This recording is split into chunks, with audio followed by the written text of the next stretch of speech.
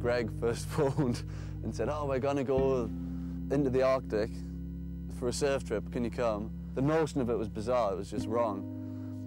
But I, th I thought, oh, well, what the hell, it's only four days. And when we arrived here, like, it was odd. There was perfect waves.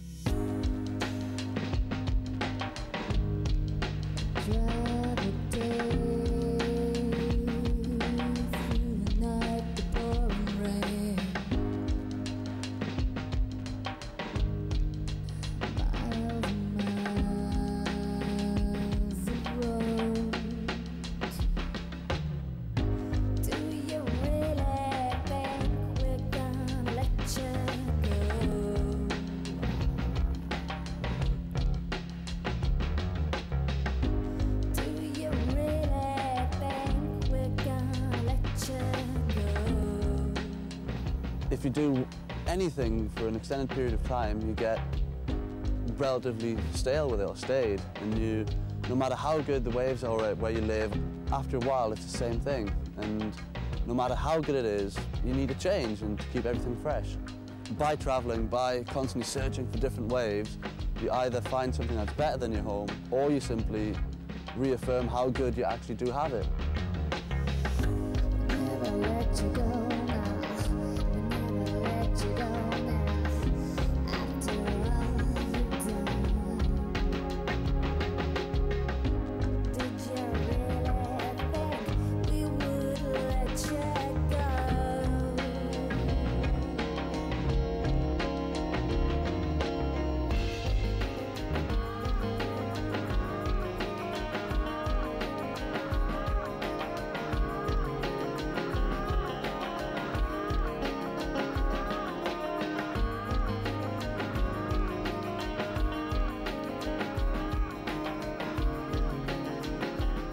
Essence of surfing is surfing. It's as simple as that. For every single person, it's about going into the sea and being happy to be there.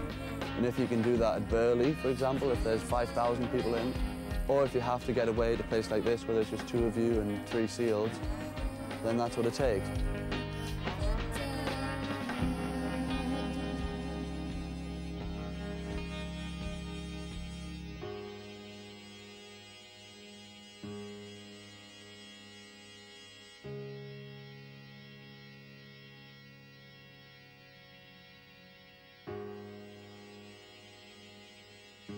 It's, it's a walled up wave that, that attaches itself to the reef, that hugs the reef and stands up and with a few barrel sections and just a few lips, that's a perfect wave.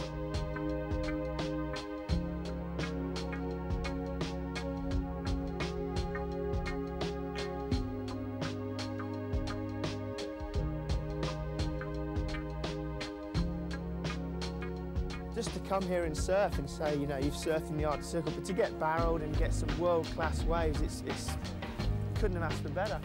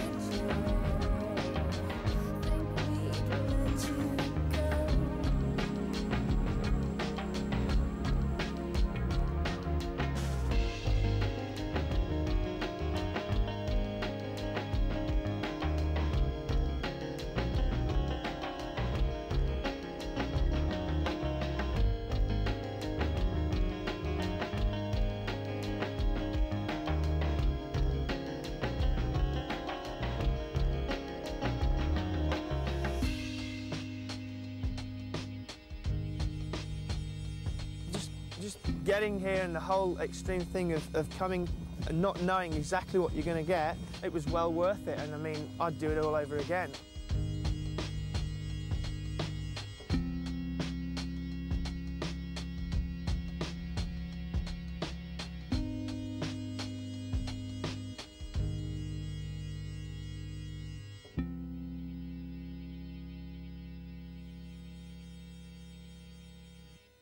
Like I said, it was odd. It was surreal.